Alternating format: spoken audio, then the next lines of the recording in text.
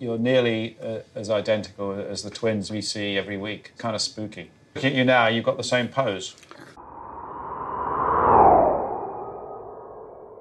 Hello everyone, welcome or welcome back to my channel, Tuff Topic. My name is Brittany. I hope everyone is having a great day. And this is part three of my fascinating stories. And I do appreciate all of the feedback. I see you all, well, most of you are loving the series. So I said, why not continue?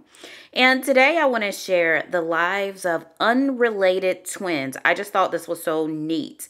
So usually when someone is related in some form or fashion, you tend to look like someone in the family. But here's what makes these individuals so unique.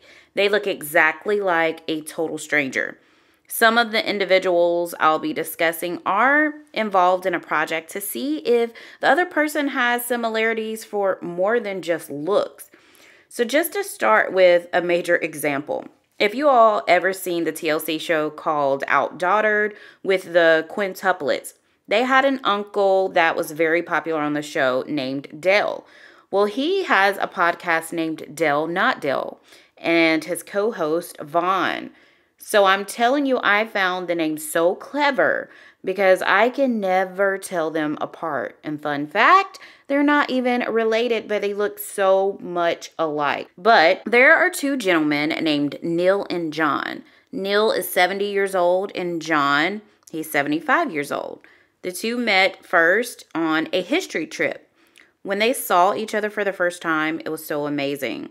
They went in for a experiment and they scored high based on the facial features. The scientists said that they are more identical than some of the twins that come in, like actual twins. Also, not just physical features, they both were teachers, they both have sons, and they both share the same bank account, which is just so bizarre to me. They don't share the same bank account, but they have the same bank, should I say. That is just so insane.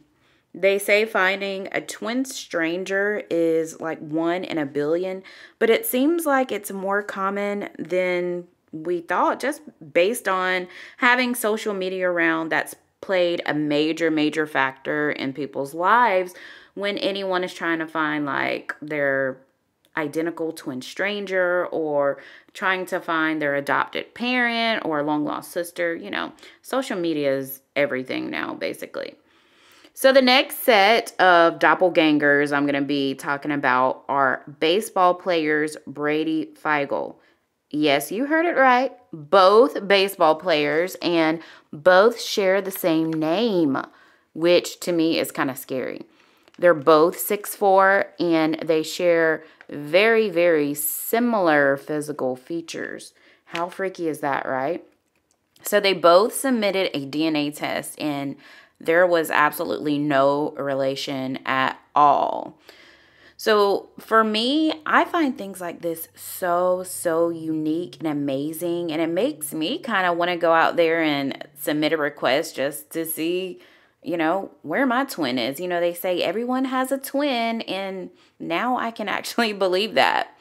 So, have you, any of you ever seen someone that looks exactly like yourself or anyone you know? Let me know in the comments below. If you want more of the fascinating clips or series, please comment that in the comment section below. I do appreciate you guys listening and watching. Like and subscribe to my channel for more. Bye for now.